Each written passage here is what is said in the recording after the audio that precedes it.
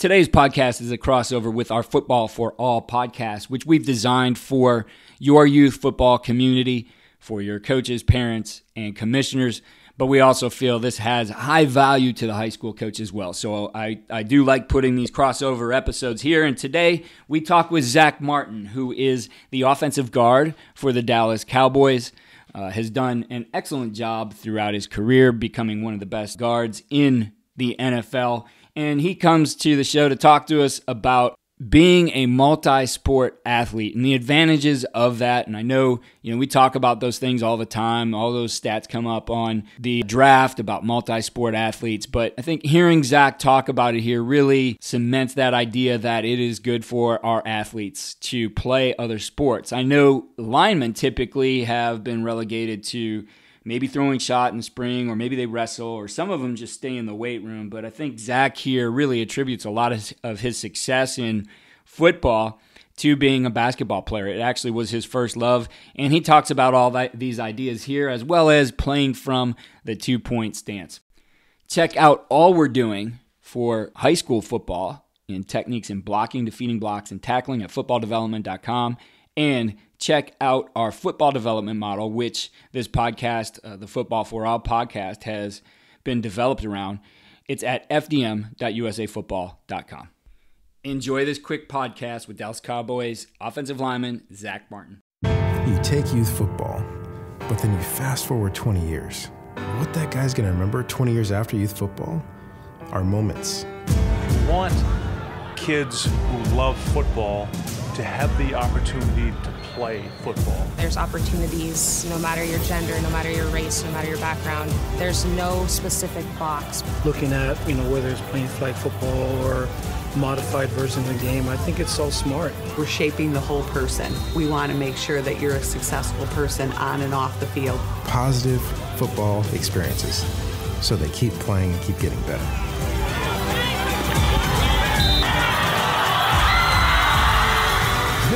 Football for All. On today's Football for All podcast, we're joined by offensive guard for the Dallas Cowboys, Zack Martin. Zack, it's great to have you here on the podcast today. I appreciate you having me. Zack, we're going to talk about uh, a number of things, and, and, the focus for you, some key pillars in our football development model.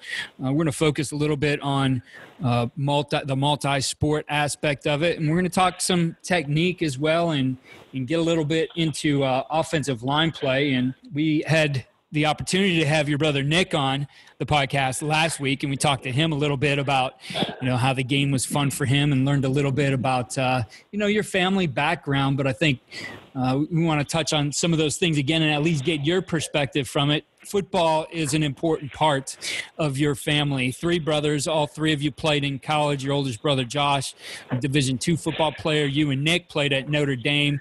Uh, Nick is now with the Texans. You're with the Cowboys. Uh, your dad played at the University of Kentucky. So football has really always been a part of the Martin family. Um, yet at the same time, you know, something we talked about is that there were other aspects of everything you guys would do as well. But talk to us a little bit about, I guess, growing up in that football family. Yeah, you know, uh, football obviously, like you said, was a huge part of our, of our household.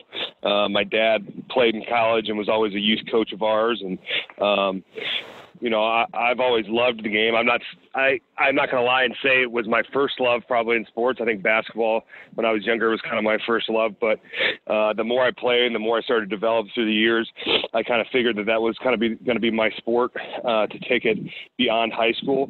And, um, you know, I kind of dove, dove right into it and, um, you know, learned the game more, uh, learned the the little details of the game and and uh, what could help me along the way. And um, you know, it's been a huge part of my life uh, up to this point, and and hopefully for uh, years into the future here.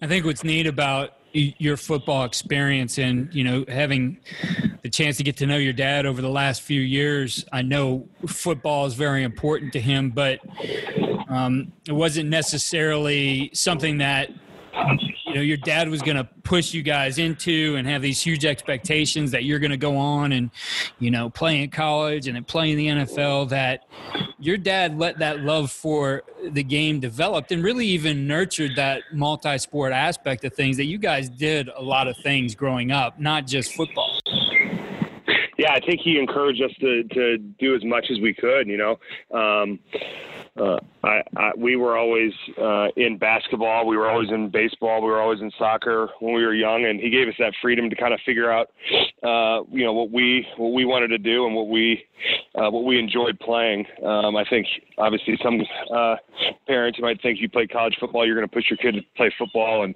train for football all year round, but um, we were able to, to play those different sports, um, kind of have some freshness each each uh, different season. Um, when you come back to to say football or basketball, and um, and then obviously as we got older, uh, I started to focus more on uh, myself. I was a football and basketball player, and then um, obviously uh, ultimately played football, but um, we had that freedom, and I thought it, you know, I thought it was uh, a great way not to only, um, obviously, you meet different people in different sports, but also give you a chance to see um, what fits best for you, what sport does, and um, you know, also just gives you a chance to go out there and have fun uh, with your buddies every day. Well, I think that's an important part of growing up as an athlete is is going out there and having fun and kind of that free free play aspect of it too. I see so many videos today with well-intentioned parents and I'm, I'm, not being critical about what parents want for their children but um, i think maybe a, a misconception that you need to have that youngster do what the guys in the NFL are doing now. And I'll see videos of, you know, kids pulling sleds or flipping tires and, you know, doing all these things that the older athletes do as they start to progress and develop themselves physically. But I guess I just don't see enough of kids getting out and playing. I know, know for us, learning the game. Shoot, we did that on our own at first. We did that in the, in the front yard, in the, in the, on the playground, in the street, wherever we could find a place that we could play some ball. That's what we were doing. And you know, I, I think in talking to a lot of guys who make it to your level, they've had that experience that it, it wasn't this push from day one to be the elite athlete and to train for an NFL career. It was to go out and play and have fun and learn to be an athlete. Right, exactly. I couldn't uh, I couldn't agree more. I think um, you know I think people are obviously caught up and listen. Everyone wants their kid to to be successful and, and to get a scholarship and, and do all that. But at the end of the day, the, you know football and, and these other sports, it, it's a game at its purest form. It's a game, and um, you know I think at that age you're obviously teaching the fundamentals. You're allowing kids to learn uh, more about the sport. But you know, a lot of times you see kids they're going out there and they want to they want to make new friends. They want to hang out with their buddies. They want to they want to just run around and have fun. So I think the the purest form of the game is that. And I think when uh, people realize that it becomes more fun for the kids and they want to put more time into it. They want to put more effort into it. Um, and it really takes care of itself. So I, I'm a huge proponent of, of, of letting them, uh, you know, obviously try different things and also um, finding their way. And I think you'll see how much, um, you know, how much kids will, will want to put more time into it uh, when they have the freedom to, to still treat it as a game. Yeah, I, I, think the other aspect of this too is we can't pigeonhole kids at a young age that you are going to play this position or that position. Well, I mean, it's you know looking at your dad and then the Martin boys. It's pretty safe to say you guys would eventually end up playing on the line of scrimmage. But you know, I think in what we're looking you know, at with the football development model, especially early on, some position sampling, and I think it's it's good to be able to do those things to develop that athleticism, but also to develop that understanding of the game. That uh, we don't need to take our our six year old or eight year old and and have them out every day blocking the sled and doing those things yet. We could teach them the the fundamentals of the game without pigeonholing him that this is what you're going to be ten years down the line. Right, and I think that uh, kind of goes back to what I was saying is, you know, everyone wants their kid to be successful, but it's not just like, hey, you wake up and say, you know, I'm going to take my kid out and run them every day, and they're going to be successful players. There's there's an evolution to the game, like anything else. I think you start, you know, you start uh, young and you learn the fundamentals, and when you learn those, you move up and you learn some new techniques. You start using um, you know, I'm an offensive lineman. I've, I've been a big guy, so I, have always been an offensive lineman. But um, you know, you start you start to learn more aspects about the game. You start to learn how to use your hands. You start to learn how to pull. You start to learn how to do all that different kind of stuff. Um, but that all stems from learning the basics at a young age and drilling those basics over and over until you feel comfortable to move on to the next thing. Well, and then you look at it too, and you talked about basketball being kind of your first love in this, that there's certainly a lot of things that you learned in being a basketball player that carried over probably to help you further develop your skills and progress you uh, into playing at higher levels because of, of those skills and athleticism developed in basketball. Right. I mean, uh, offensive line play is all about, you know, mirroring a defender, you know, getting in that low posture. Um, and that's what basketball is. You're in a defensive stance, you're mirroring your defender back and forth constantly up and down the basketball court. So that, for me, that was a smooth transition. And I'm playing offensive line, and even the older as I got, uh, as I got, and the competition started to pick up, those are just natural movements that I've done my whole life on the basketball court. Getting down in a good posture, having balance between my feet, and mirroring a defender um, is something I did you know, obviously through football and basketball.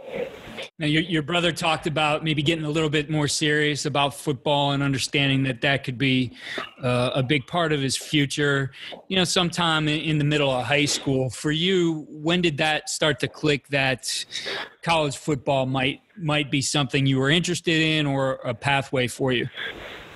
I think uh, yeah, early in high school, I would say probably around my sophomore year. I, I was I was a solid basketball player, but you know I was a six foot three center, and um, you know there's not many six foot three centers that play college basketball and beyond. But um, you know I started to excel at football. I started um, I played D line also, so I played O line and D line. Um, got to play on the varsity team my sophomore year, and I started to really excel, and I started to really enjoy the little details of the game.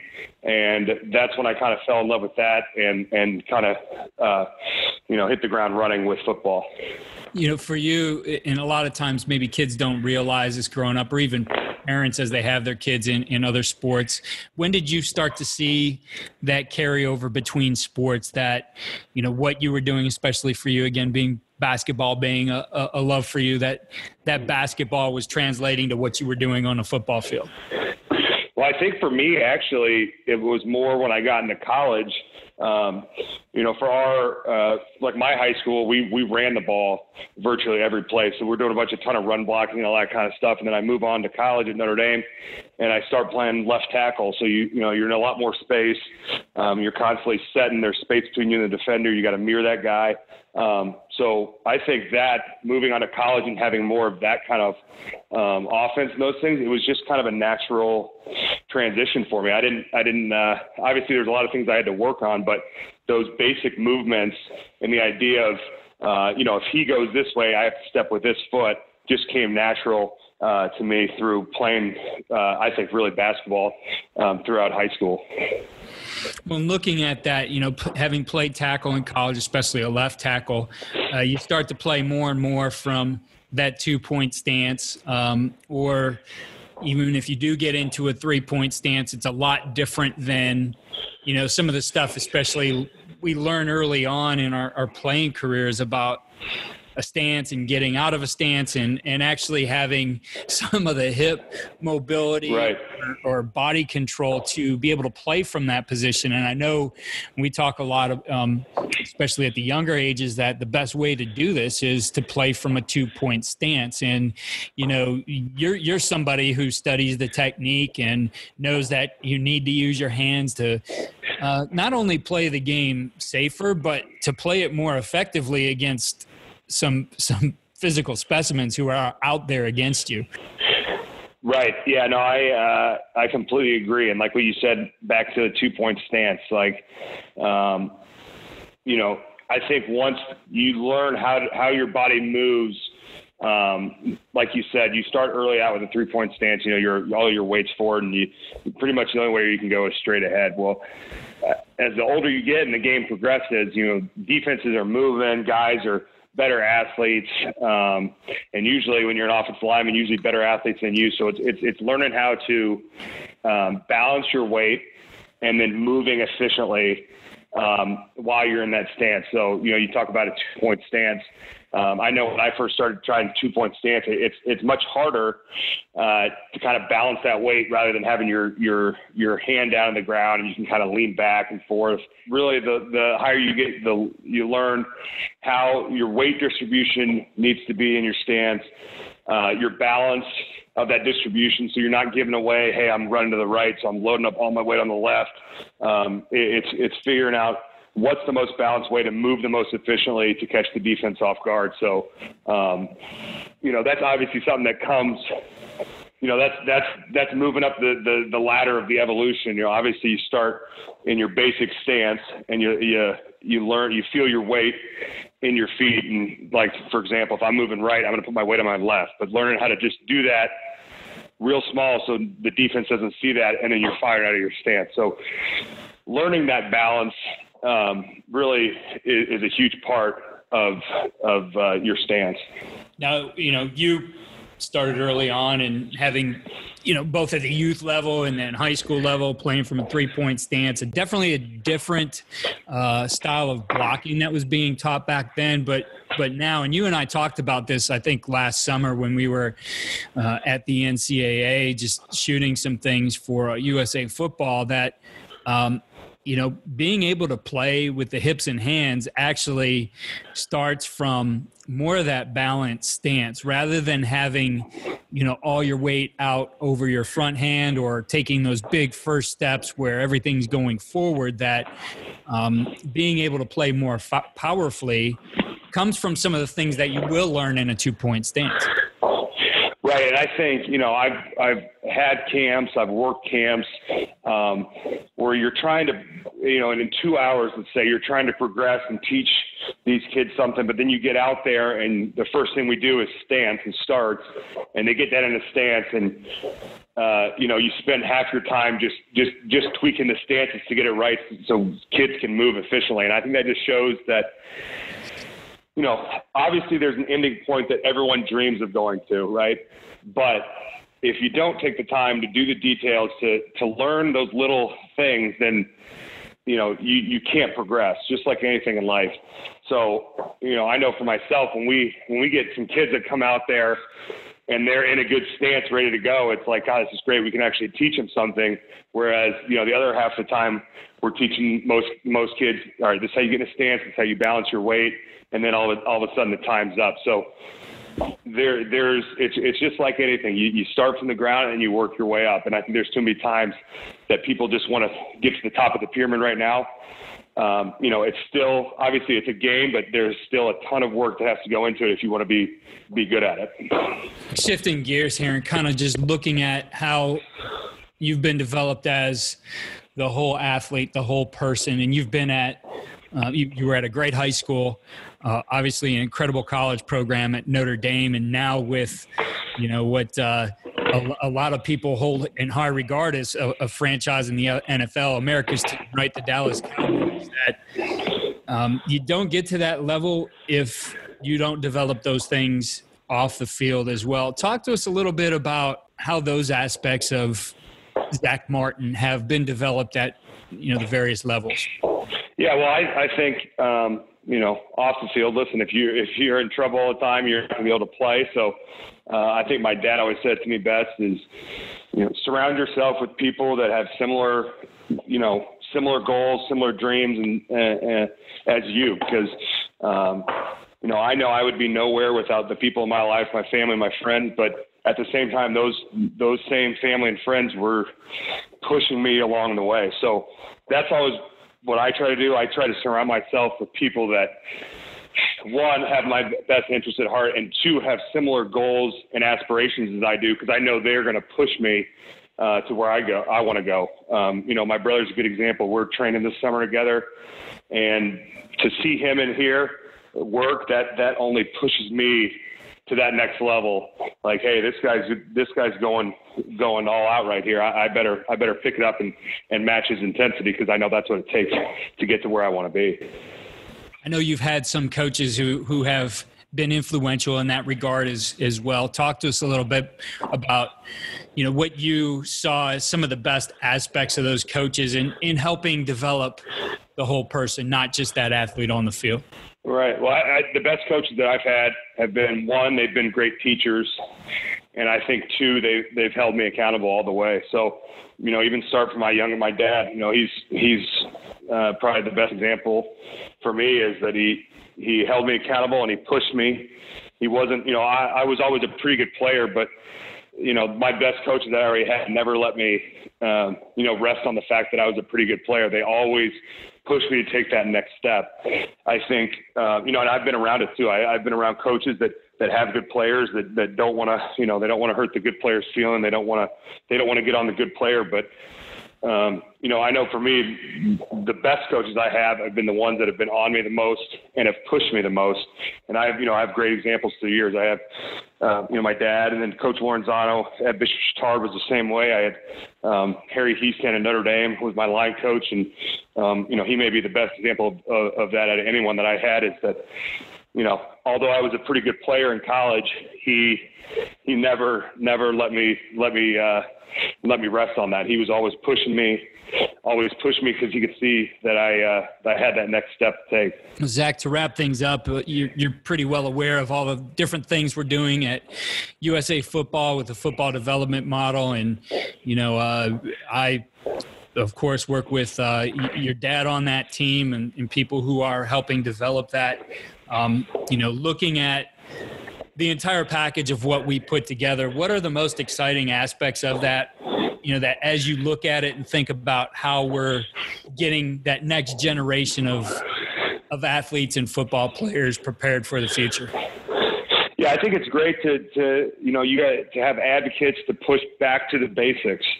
Um, you know, at the end of the day, football is a game that always comes back to the basic fundamentals, no matter what level you're at. I still to this day. That'll be if I if I have an off game or anything, the first thing I write in my notes from that game is back to the basics. And if I for me, if I just get back to the basic fundamentals, that usually cleans up uh, a lot of my game. So it's cool to see uh, you guys push that because um, really, at the end of the day, the foundation of this game is on is on the the basic fundamentals. Zack, I appreciate you taking time with us again, and best of luck to you and the Cowboys in 2020. Appreciate it. Thanks for having me on. Thank you for your interest and support in the football development model. We cannot create a stronger sport without you. Head to fdm.usafootball.com to get involved. We'll see you next time on the Football for All podcast.